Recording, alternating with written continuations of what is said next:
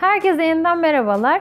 Hazır ülke gündemi poşetler üzerinden dönerken dedim ki bir güzel bir market çantası yapalım. Hem de bölümlü olsun bu. En azından şişeler falan rahatlıkla durabilsin diye güzel bir market çantası yaptım. Gördüğünüz gibi. iki kat yapıyoruz bu çantayı. Bir iç kısım ve bir dış kısım olacak şekilde iki bölümden oluşuyor.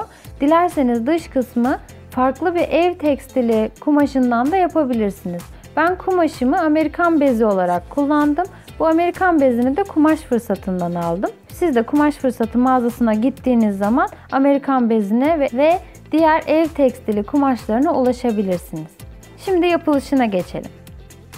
Ben 1 metre Amerikan bezi kullandım ve eni 2 metre kadar vardı sanırım. Bayağı genişti eni. Sadece bir tanesinden rahatlıkla hatta kumaş artırarak bir çanta yapabildim. O yüzden 1 metre eğer Amerikan bezi kullanacaksanız 1 metre size yeterli olacaktır. Eğer eni 2 metre ise. Ben de 1 metre Amerikan bezimi açtım. Önce bir kenarından gördüğünüz gibi eni 60 santim olacak şekilde katladım. Ve işaretliyorum. Bu işaretlediğim yerden keseceğim. Bu kısım benim çantamın ana gövdesi olacak.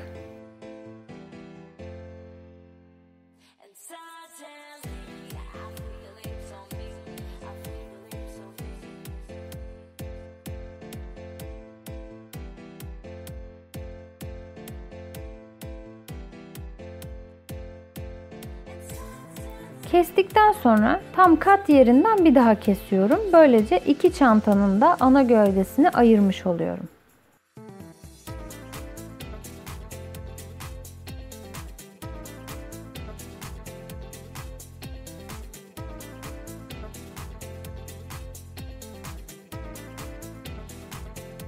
Diğer parçalarımızı kesiyoruz. Öncelikle İç bölmeler için gerekli olan parçayı kesiyorum. Tüm ölçüleri ben videonun sonunda size yazacağım. Oradan da not edebilirsiniz. 84 santime 25 santim olacak şekilde iki tane dikdörtgen kesiyorum.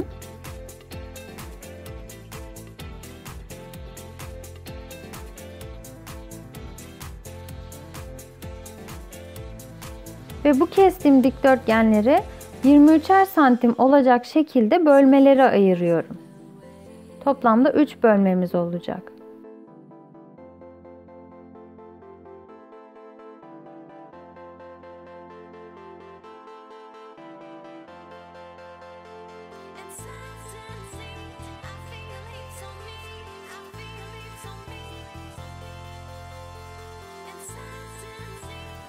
Şimdi kulplarımı kesiyorum.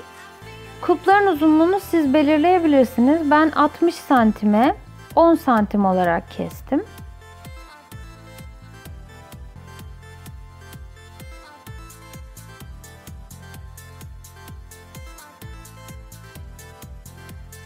Ve kulplarımın da ön hazırlığı var. Bunu da gösteriyorum. Önce ikiye katlıyorum gördüğünüz gibi ve ütüyle üzerinden geçiyorum. Sonra açıyorum. Bir kenarını içe doğru katlıyorum ütüyle geçiyorum üstünden. Sonra karşı kenarını aynı şekilde katlayıp yine üstünden ütüyle geçiyorum. Tıpkı biye gibi oluyor aslında ve yeniden katlıyorum. Yine üstünden ütüyle geçtikten sonra dikiş için hazır hale geliyor. İki kenarından da boylu boyunca dikeceğim. Böylece sağlam bir görüntüsü olacak. Öncelikle iki çantamın gövdesinin de uç kısımlarını iki kere kıvırıp dikiyorum.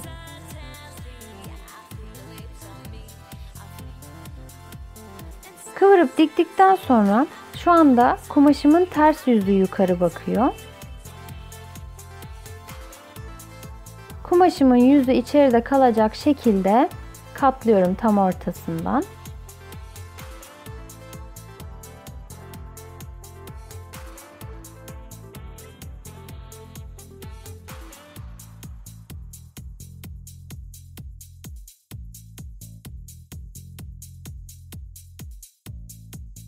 Kayma olmaması için güzelce hizalıyorum. Ve iki kenarından da düz dikişle dikiyorum.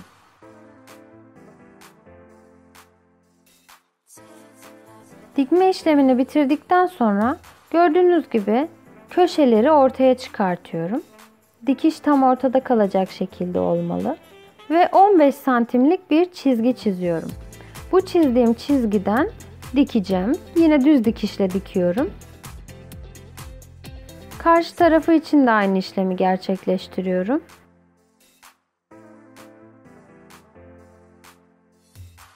Diktikten sonra fazla kısımlarını kesiyorum. Dikişe çok yakın kesmiyorum dikkat ettiyseniz. Ve ters çeviriyorum. Böylece çantamın dış kısmı hazır oluyor. Şimdi iç kısım için çalışmalara başlıyoruz. Yine iki kenarını kıvırmıştık. Şu anda kumaşımın düz yönü yukarıda. Ve bu düz kısmına 84 santimlik kumaşımı yerleştiriyorum. Bu tamamen sizin kararınıza bağlı. İsterseniz sık sık da yapabilirsiniz. Ben biraz gördüğünüz gibi bolluk bırakarak yerleştirdim. Çok da kararında oldu. Önce iğneliyorum, sabitliyorum. Daha sonra o çizdiğim çizgilerden dikeceğim. En başta çizgiler çizmiştim hatırlarsanız. En başta yaptığımız gibi düz dikip sonra köşeleri keseceğiz. O yüzden burası çakışsın istemediğimden iki bölmenin tam orta noktası 20 santim. Bölmeler içeride kalacak şekilde katlıyorum ve yanlarını birleştiriyorum.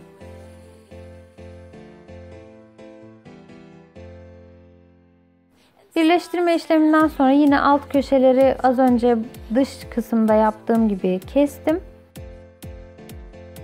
Şimdi kulbu yerleştireceğim.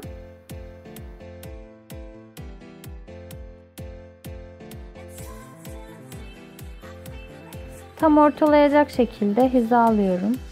İki kulbun arasına 10 santim hiza koydum. İki kenarına da 12'şer santim ayarladım uzaklığını. Kulbumun iki yanına da dikiş attım. Böylece daha sağlam görünüyor.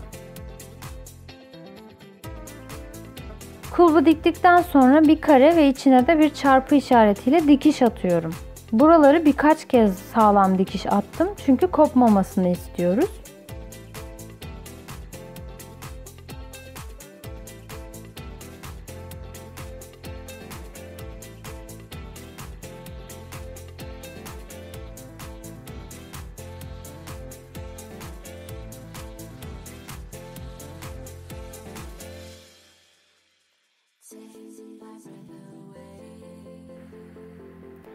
Kulbumu da gördüğünüz gibi diktikten sonra şimdi iç parçayı gördüğünüz gibi bölmeler içeride kalacak şekilde tutuyorum. Yastık kılıfı geçirir gibi diğer çantanın içine iç kısmı geçiriyorum.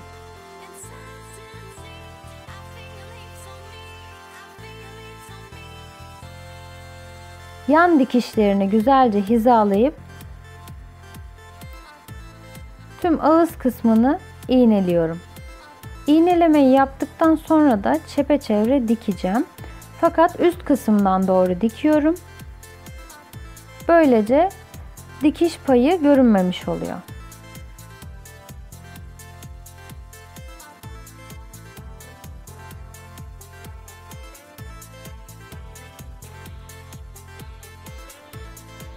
Ve elimle gösterdiğim yerlerden dikiyorum dış kısımdan.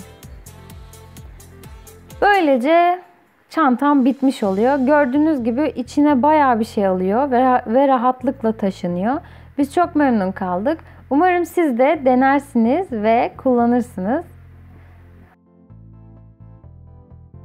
Bugünlük benden bu kadar. Umarım keyifle izlemiş ve beğenmişsinizdir. Beğendiyseniz lütfen beğen butonuna basmayı ve kanalıma abone olmayı unutmayın.